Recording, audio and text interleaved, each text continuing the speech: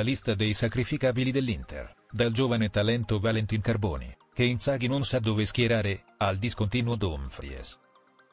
Dopo gli annunciati degli ingaggi a parametro zero di Zilinski e Taremi, l'Inter dovrà di nuovo affrontare un calciomercato creativo, fatto di occasioni e colpi condizionati.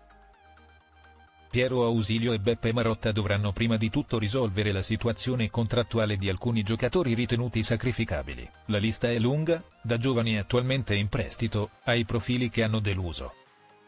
Dal titolare, Dumfries, alla promessa che piace a tutti, Valentin Carboni, l'Inter punta a incassare più di 60 milioni dalle cessioni. L'obiettivo è quello di poter mettere in cassa soldi bastevoli a prendere Bento per la porta, un attaccante giovane, Gudmundsson, e magari un nuovo centrale.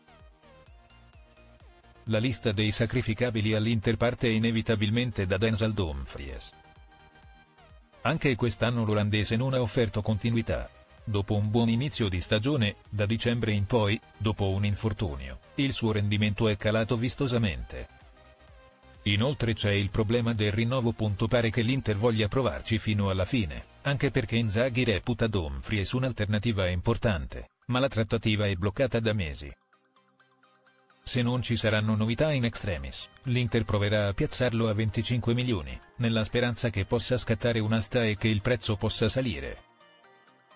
L'olandese piace all'Eston Villa, ma Denzelone pare voler puntare a un club più grosso. Di certo vuole andare via, come vi abbiamo raccontato in una nostra esclusiva. Mesi fa è stato sondato da United e Chelsea, ma l'affare appare difficile. C'è qualche speranza solo sponda Red Devils, se dovesse restare Tenaga. Il problema è che, vendendo Dumfries, l'Inter dovrebbe pensare anche a un sostituto, dato che Buchanan non sembra aver convinto Inzaghi. La lunga lista dei sacrificabili, ecco chi potrebbe partire. In linea generale, sia i dirigenti che Inzaghi hanno lasciato intendere di voler toccare il meno possibile la rosa. Ciononostante l'Inter si sta già muovendo con dei sondaggi. Ma lo sta facendo nel caso in cui arrivi qualche offertona per un big e che quindi ci siano parecchi soldi in cassa. Senza cessioni, verosimilmente ci si defilerà dalla corsa a tutti gli obiettivi di cui si parla in questi giorni. Buongiorno, Gudmundsson, Zirkzee. In bilico ci sono soltanto Arnautovic, che non ha convinto dal punto di vista atletico e mentale, e uno fra De Vrij e Acerbi, si sono fatti di una certa età, e sarebbe sensato pensare subito al futuro inserendo un centrale più giovane. A lasciare l'Inter saranno i giocatori in scadenza, Sensi, Sanchez, Quadrado e Klassen. Poi i dirigenti proveranno a piazzare i giovani e i tesserati che tornano dai prestiti.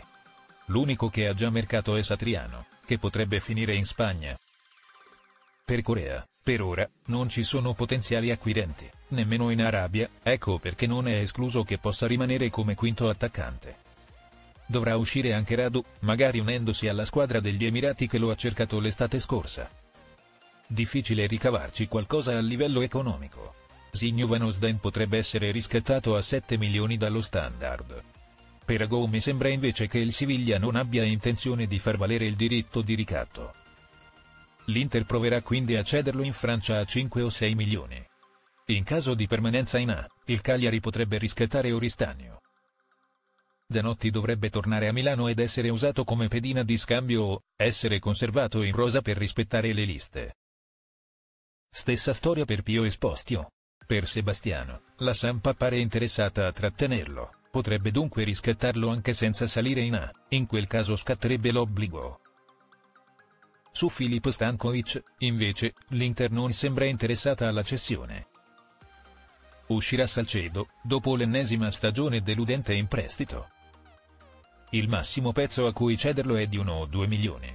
I vari Fontanarosa, Rovida, Mortetti, Caratolo, Nunziatini saranno ceduti al miglior offerente, nella speranza di ricavare da tutti quanti insieme un paio di milioni.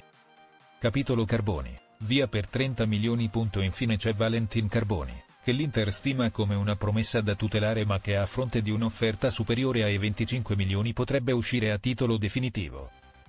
L'idea della dirigenza sarebbe quella di tenerlo in squadra, sia per allargare ulteriore il roster per far fronte al doppio impegno che per aggiungere un canterano utile alle liste.